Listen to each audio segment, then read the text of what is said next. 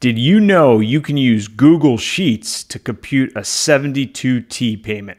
Hi, this is financial planner Sean Mullaney. Let's discuss. So, 72T is a way to get around that pesky early withdrawal penalty when we're trying to tap into our retirement accounts to live off of before age 59 and a half.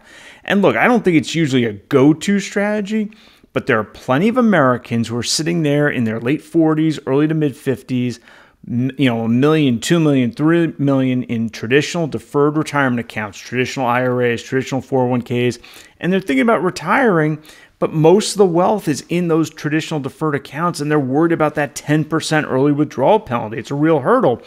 But the 72T can be a great workaround, and you can compute how to do that with Google Sheets. I'm about to show you. I will say, oftentimes, 72T requires thinking about maybe getting some professional assistance, right? Because it's not the easiest thing in the world. Um, but it is good to have a, a, spreadsheet potentially that could give you some educational knowledge so you can have an informed conversation about a 72T IRA and what a payout would look like and that sort of thing. So I want to imagine a sort of a base case here. We have somebody who's 53 years old. Remember that number, 53 years old. And they've got, it might be 2 million, it might be 3 million, it might be 2.5 million in a 401k at work or other qualified plan. And they want to take a $80,000 annual payment out of that, will eventually be an IRA. We'll talk about that in a second, to live off of every year. All right, well, we have to do a few things, right? First of all, we're probably going to have to move that 401k into a traditional IRA. And then we're going to have to right size that IRA. What I mean by that is we can slice and dice one IRA into two IRAs. And if we're going to do a 72T payment, get around that 10% early withdrawal penalty, we're probably going to want to do that. So we want to have a non 72T IRA if we're going to do this, generally speaking, so that we maintain maximum flexibility in our retirement planning and in our finances. All right. So if we want to get that $80,000 payment, we got to do a little math, and Google Sheets can help us with that. What we need is we need uh, three, actually, well, three inputs that will solve for a fourth. We're solving for the size of the IRA that generates, in this case, the $80,000 payment every year. To get that, we need an interest rate um, and we need a life expectancy. Those two generally come from the IRS. On the interest rate, we'll have some optionality, but generally speaking, those two are IRS provided. The amount is that's the one thing we get to provide. That's $80,000 a year. And we have to take that every year uh, between the first distribution date and the later of turning 59 and a half or five years, right? So if we were 57, we'd have to take it for five years, not the 59 and a half. All right. So we're 53 in this example. So interest rate, where do we get our interest rate from? Well, if we look here, uh, this is IRS Treasury Notice 2022 6. I'll link to it in the description below.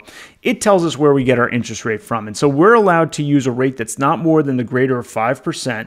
So, regardless of prevailing interest rates in the world, we always get to use 5%. We could use less, but we generally want to use at least 5%. We'll talk about that in a sec or 120% of the federal midterm rate determined in accordance. Okay, that's fine for either of the two months immediately preceding the month in which the distribution begins. And I'm recording this in November 2023. So let's just assume our distribution begins in November 2023. Just for the initial calculation, what I want to do is actually just use 5%. We'll come back to that higher interest rate potentially later on. But let's just use 5% to start. Life expectancy at age 53, and it's, um, it's our birthday age in the year of the first distribution. So if I'm taking my first distribution in November of 2023 and I turned 53 in April of 2023, well, that's my birthday age that year. So what I do is I go to this uh, uh, single life expectancy table. This is in a regulation, and I'll link to it in the description below. And I just search for my birthday age. So in April, I turned 53, let's say in this example. Um, so 53, the life expectancy there is 33.4 years. So I have to put that into my Google Sheet here. Okay, that's fine. And then the amount is the annual payout I want, right? And that's $80,000. I get to pick that, right? So I've got my three inputs. And now, you know, let's say I have that 2 million 401k, I move it to an IRA, I call up my IRA institution, I say, well, I want a, a 72T payment. I'm going to take this 80 or 72T IRA, I'm going to take this payment out of, out of every year. And that needs to be a certain size according to this math formula that the IRS gives us. You know, and then there'll be a non 72T, there'll be the remainder. So, how big is that 72T IRA? Well, the way we solve for that is we do an, uh, an equal sign to start off. That's easy enough. And then I, I put a negative sign in here. You don't need to do it. I put the negative sign in here so that the software doesn't show me a negative number. I like to see positive numbers, right? I'm going to call my financial institution and say, please set up two IRAs. One is exactly this size. I'm not going to tell them a negative number, right? That doesn't exist. And the formula is a present value formula. And the way Google Sheets does that is PV, right? So I enter equal sign, negative sign, PV then I hit an open parenthesis, and now I have to enter interest rate, time frame, which is the life expectancy, and the annual payment amount. I have to enter those in sequential order in order for the calculation to work correctly, right? Because it's looking for the interest rate first, and then the, the time frame, and then the uh, amount. So the first thing I do is I enter in the cell for the interest rate, and I hit a comma, right? And then I enter in the cell for the life expectancy, hit a comma. And then I enter in the cell for the annual payment, which is 80,000 in my case, and I hit a close parenthesis. And bam, I get the size of the 72T IRA I need to establish with my financial institution. So, okay, financial institution, you have, you know, 2 million in change in one IRA today. All right, ring, ring, ring, call them up and say, hey, financial institution, please break that into, into two IRAs. One is going to be uh, for this exact number. Here's the number. And then the other will be just for whatever's left over. And I'm going to take my annual 72T payment out of the 1.286 million IRA, right? And then this all works. Now, how do we know I got it right? Okay, well, the IRS gave us an example that's on their website here. Uh, and in fact, I'm going to blow this up a little bit.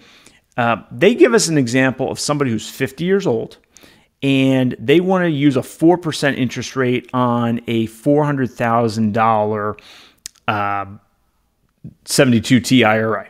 Okay. Now, I will say the IRS is not in the business of giving us planning advice. Um, my recommendation to most folks is to use as high an interest rate as possible.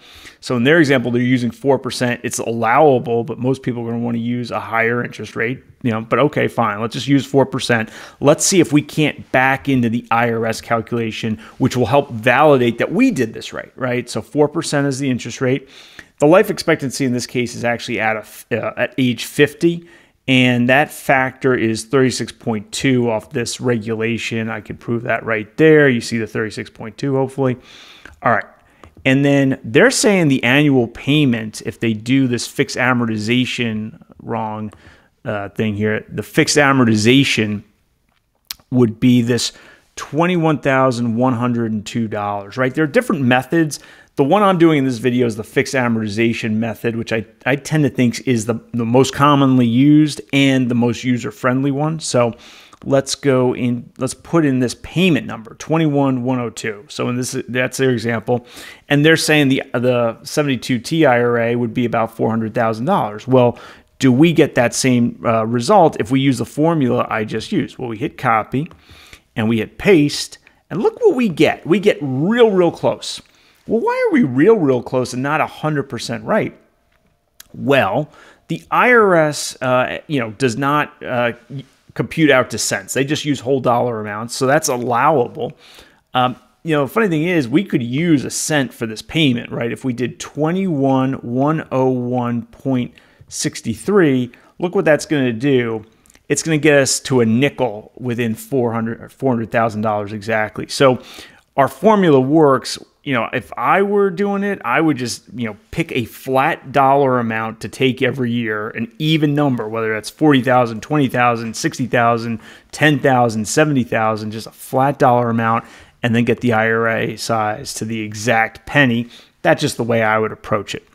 Now, one other thing I want to mention here is you know, I said, well, we're going to use 5% for our example, but we can use a higher interest rate if either of the two previous months has a 120% of federal midterm rate that is greater than 5%. And there's a link we can go to for that. I'll put that in the description. So we could use September or October. September was a little greater, but only 5.04%. So, okay, that's not going to do much. But look at October, it was 5.33. So we can use that number and that will change our calculation. And that'll let us have a smaller 72T IRA, leaving more money in the non 72T IRA in my example. So if we just change our interest rate here to 5.33, guess what? We just reduce the size of that uh, 72T IRA, not by much, right? If I undo it, it was you know, I guess that's about $50,000. It's a smaller uh, 72T IRA. We like to keep our 72T IRAs as small as possible, if possible, by using the highest interest rate possible or allowable. Um, so look, 72T, it is not something I generally like to like to use as a go-to strategy, but depends on your circumstances. And there are plenty of Americans who have a lot of their financial wealth in these traditional deferred accounts and have sufficient wealth to retire, but the 10% early withdrawal penalty is a real issue. And so I like having this out there as something we can look at as a potential planning alternative.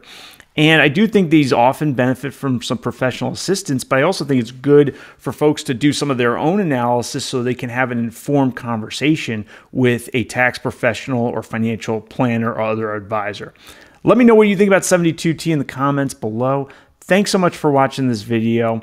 If you enjoyed it, please mash that like button and subscribe to my channel. I'll see you next time.